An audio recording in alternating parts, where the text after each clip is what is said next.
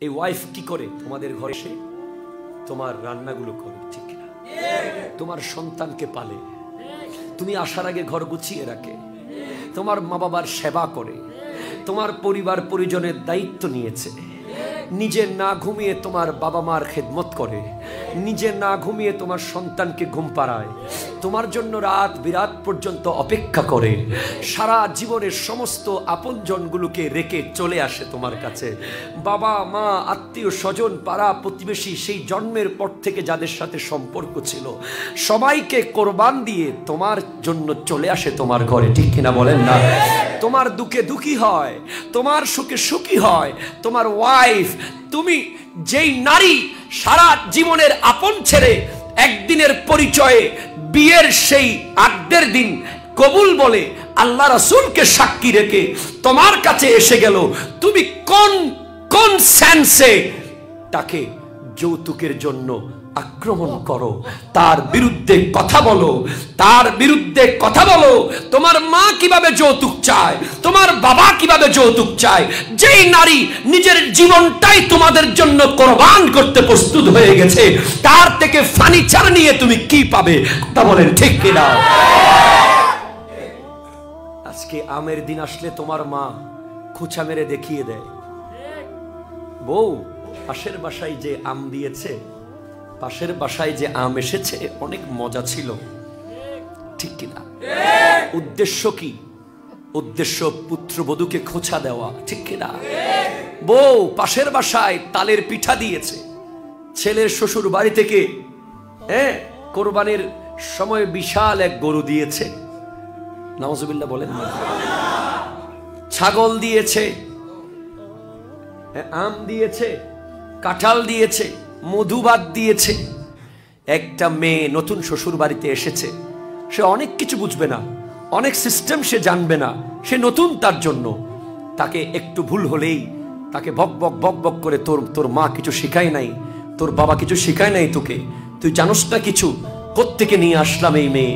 কোত্থেকে এই ভয়ঙ্কর, এইভাবে বিভিন্ন ভয়ঙ্কর সেন্টেন্স ইউজ করার মাধ্যমে একটা রমণীকে যে টর্চার করা হয় অথচ সে নতুন পরিবেশে এসেছে, নতুন ঘরে এসেছে।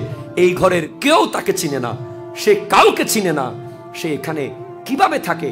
আমি নিজে উপলব্ধি করি, আমি দুই দিন, একদিনের বেশি আব্বা আম্মাকে ছাড়া থাকতে পারি না। আমার কান্না চলে আসে।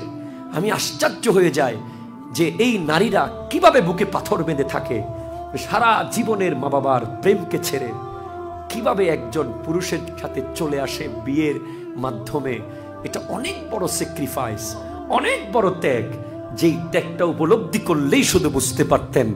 নিজেকে যদি সেই রমণীর জায়গায় দাঁড় করাতেন, বুঝতে পারতেন, হাই হাই হাই, আর যেই স্বামী বিদেশ থাকে, যেই স্বামী অ্যাব্রডে কাজ করে, যেই স্বামী আমেরিকার দুবাই, সৌদিয়াতে থাকে, নারীটাকে বিয়ে করে এনে স্বামীও নাই বাবা মাও নাই, কীভাবে সেই মেয়ে জীবন যাপন করছে?